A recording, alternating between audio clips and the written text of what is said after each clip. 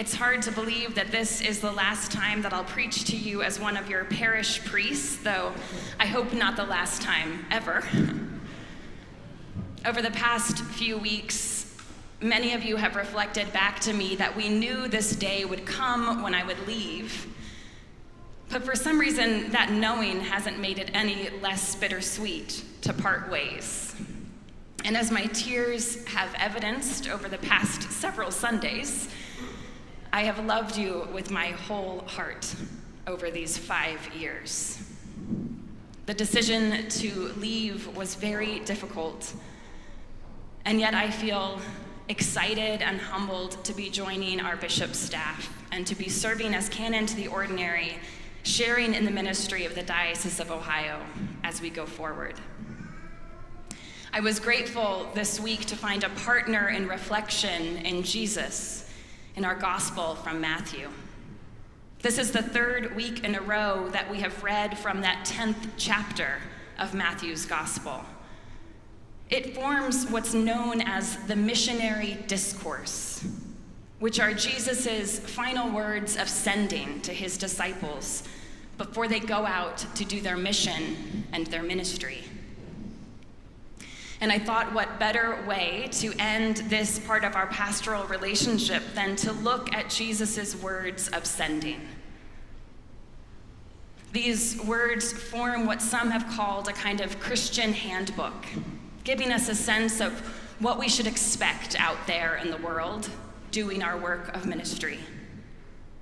The first thing he does at the beginning of the 10th chapter is he gathers all of the disciples together and he gives them authority to do what they need to do, which in their case was to cast out unclean spirits and to cure every disease. He tells them, Wherever you go from here, proclaim the good news. The kingdom of heaven has come near. He told them to seek out welcome wherever they go, and on the occasions where they don't find it, to shake the dust off their feet and go on to the next place. Be wise as serpents, he tells them, and innocent as doves. And then we get to the part of the reading that if you were here or somewhere in church last week, you heard, which is where he warns them that things will get hard, that relationships will suffer and divisions will increase. They will face persecution and danger, but don't lose heart, he says. It will be worth it in the end, for your reward will be great. I've been reflecting a lot over the past few weeks about some of the big moments that have happened in these five years that we've shared. And I thought maybe first of the unmatched glory of Christmas at St. Paul's. And I remembered my first Christmas here. It was during the 4 p.m. Christmas pageant, which some have affectionately nicknamed a Zookarist because we let live animals come in. And there we were in the middle of the pageant, and just as the donkey was about to make his grand entrance into the nave, he decided that that was the moment he needed to go to the bathroom. and so I watched from about here as a crowd of ushers and parents huddled to clean up literal donkey poop as we sang O Little Town of Bethlehem. and I'm glad to say Lauren Dockery has photo evidence of this moment, which features some of you here in this room playing a hero's role. And then I thought of the moments, the chapter of COVID, and what that was like. And how on the first Sunday after the lockdown, Jeannie and I came here and we sat right here on these steps and looked out on empty pews.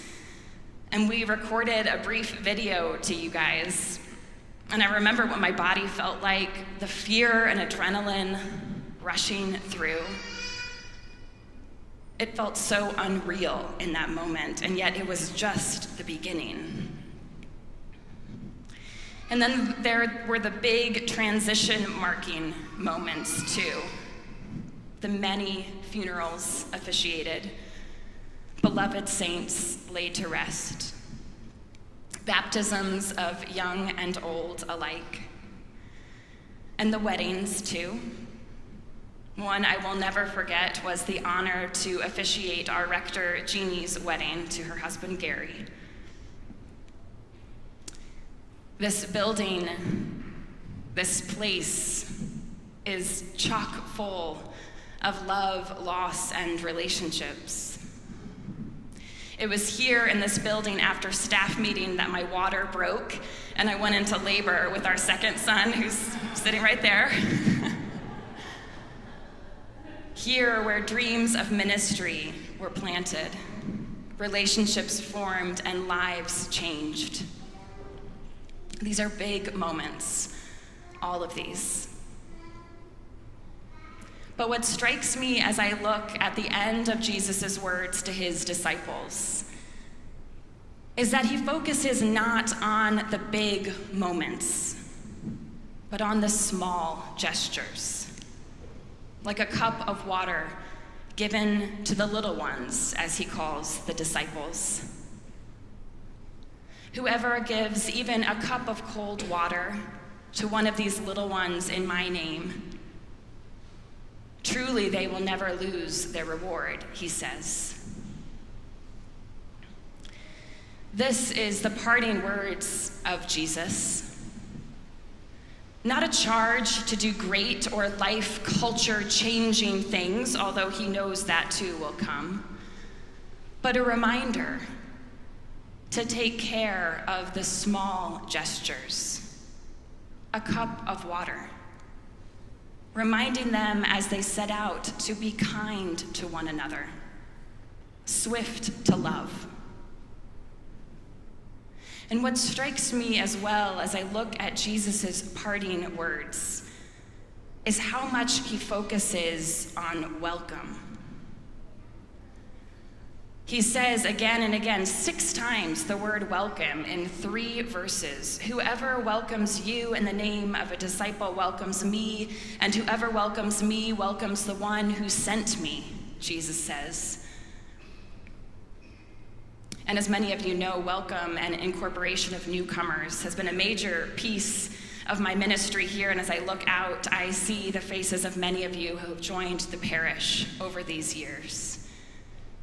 It has been a profound privilege to sit across the table from people, to share how we got to where we are and where we saw God along the way, to welcome people into this vibrant community and help them find their place in their new spiritual home. As Jesus says, the, the practice of welcoming newcomers is one that is greatly rewarding. I take comfort in these last words of Jesus of sending, reminding us as we set out on our separate yet still connected paths of ministry that welcome is the first and the last thing. Welcoming each other into community, allowing ourselves to be welcomed. That we're to show kindness to one another, to those who fit in and those who don't, to those who are young and those who are old, to those who are like us and those who are different. And as we part ways, I thank you for the ways that you have welcomed me and Joe and Abe and Bax. And I pray that you will continue to welcome people into this community, showing them kindness sometimes in grand fashion sometimes in small gestures like a cup of water. For by welcoming each other, we welcome Jesus. And we know, because we've already experienced a glimpse of it together, that our reward will be great. Amen.